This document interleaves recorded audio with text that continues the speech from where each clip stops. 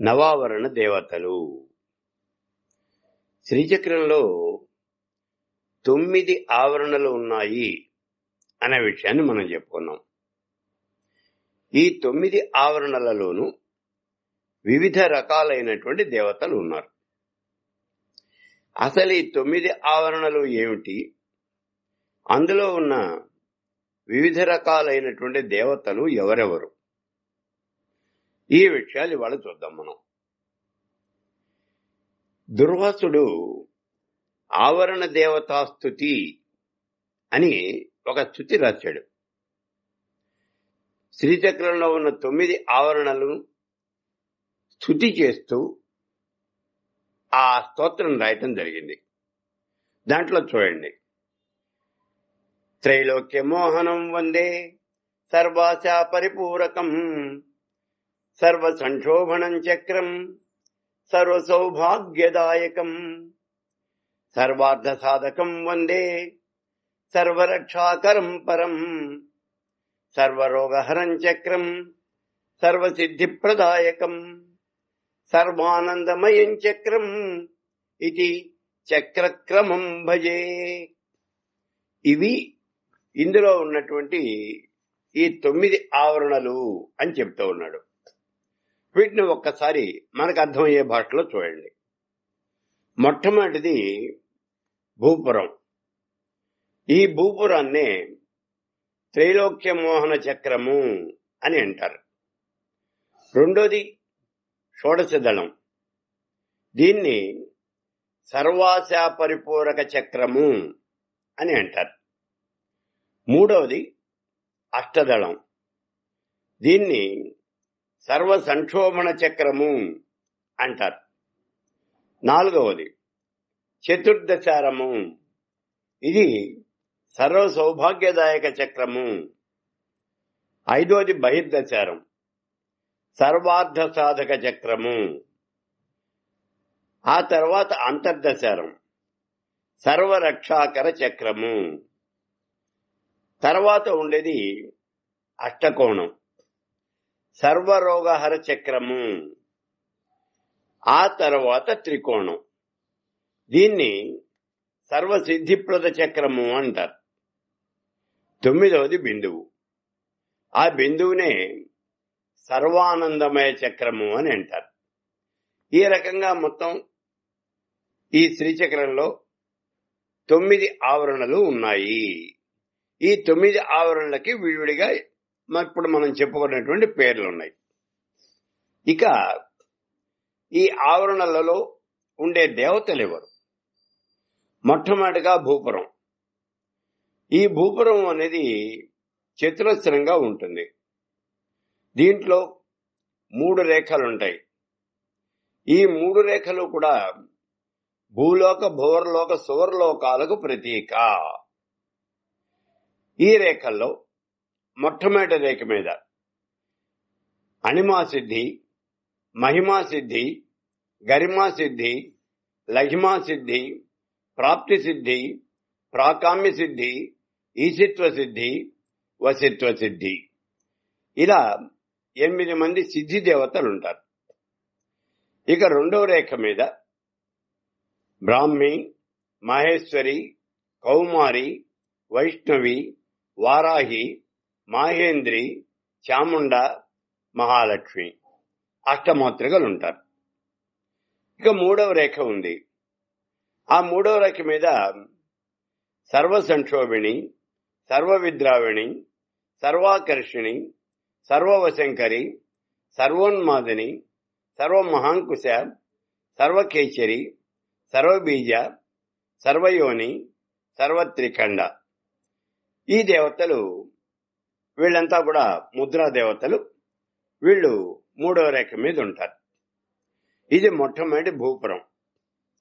ఇక రెండవది ఇది షోడశదనం ఈ షోడశదనంలో పదహారు దళాలు ఉంటాయి ఇందులో ఆకర్షణ దేవతలు ఉంటారు కామాకర్షిణి బుద్ధ్యాకర్షిణి అహంకారాకర్షిణి శబ్దాకర్షిణి స్పర్శాకర్షిణి రూపాకర్షిణి రసాకర్షిణి గంధాకర్షిణి చిత్తాకర్షిణి ధైర్యాకర్షిణి స్మృత్యాకర్షిణి నామాకర్షిణి బీజాకర్షిణి ఆత్మాకర్షిణి అమృతాకర్షిణి శరీరాకర్షిణి.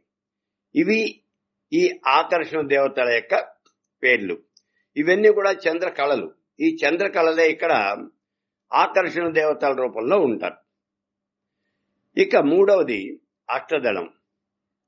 ఇందులో ఎనిమిది దళాలు ఉంటాయి ఈ దళాల్లో అనంగ కుస్మ అనంగ మేఖల అనంగ మదన అనంగ మదనాతుర అనంగరేఖ అనంగ వేగిని అనంగాంకుశ అనంగమాలిని. ఈ ఎనిమిది మంది ఉంటారు.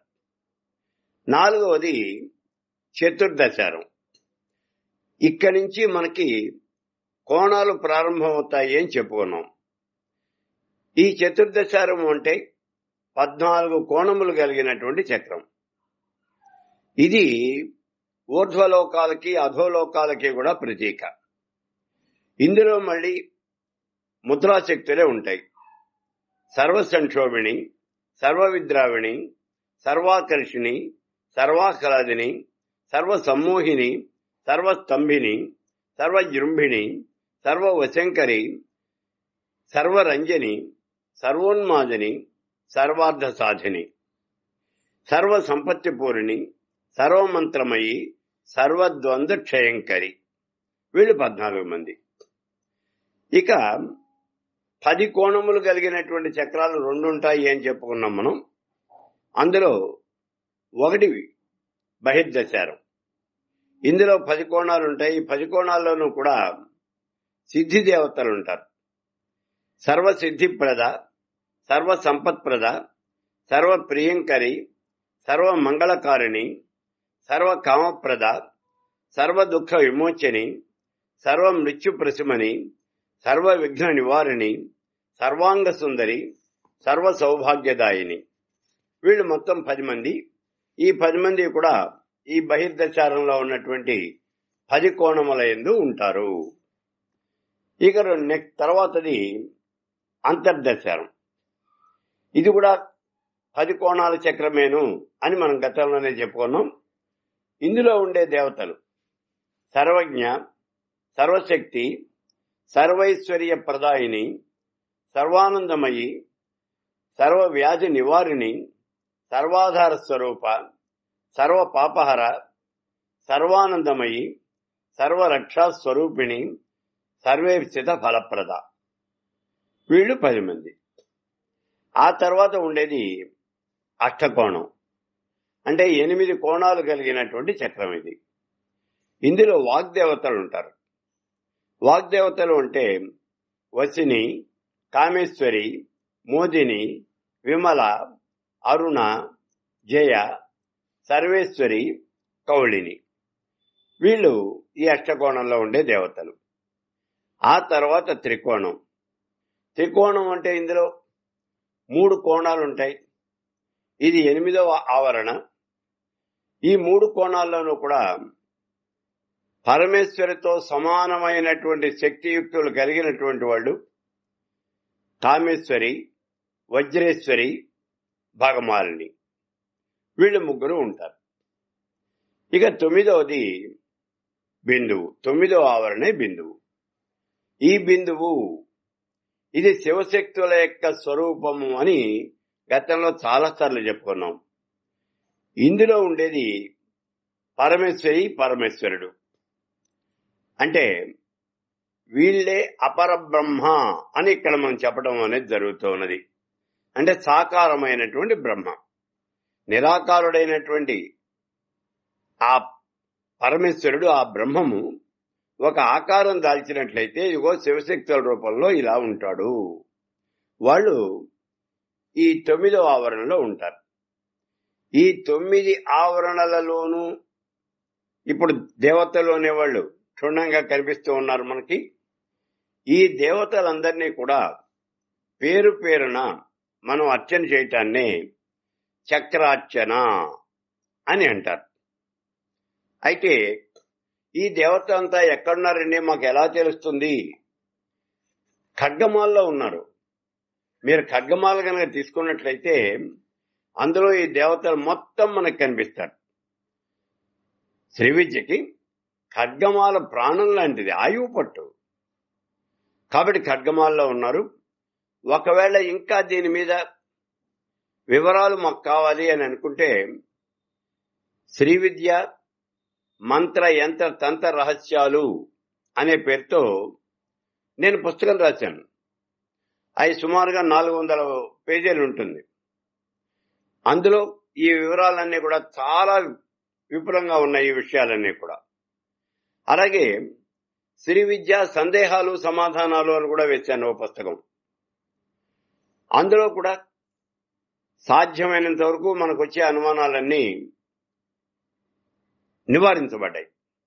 కాబట్టి ఈ శ్రీచక్రంలో ఉండే దేవతలు ఎవరు అనే విషయం ఆ ఆవరణల పేర్లు ఆవరణలో ఉండే దేవతలు అన్ని కూడా ఇవాళ మనం చెప్పుకున్నాం.